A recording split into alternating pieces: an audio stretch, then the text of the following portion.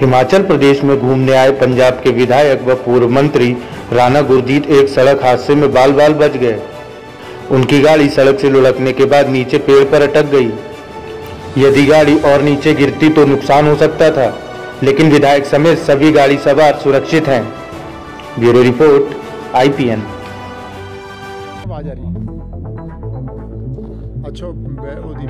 N बाजी